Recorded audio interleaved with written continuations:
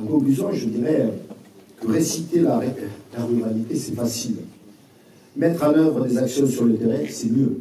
Et c'est ce que nous faisons aujourd'hui. Tout à l'heure, en, visitant euh, ce bureau, Mme Colin disait, bon, euh, c'est un investissement que nous faisons sur le, sur le, milieu, euh, sur le milieu rural. La rentabilité, c'est important, mais ce n'est pas le maître mot ce matin. Ce matin, c'est le service qu'offre la Poste donc, aux habitants de notre territoire. Donc, en tant que président de l'association des maires du Gers, donc, je sais combien c'est important, combien votre engagement est important.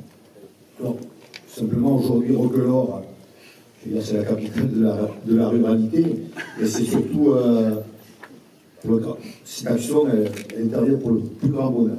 Des Roquelorois présents qui voient un petit peu ce que représente cet investissement. Ce camion sera présent le samedi matin, en même temps, en même, en même temps que notre permanence. Les élus se, se retrouve le samedi matin. Je souhaite tout simplement bon vent, donc avec bon vent à cette expérimentation et surtout qu'on puisse la perpétuer dans le temps. Je vous remercie.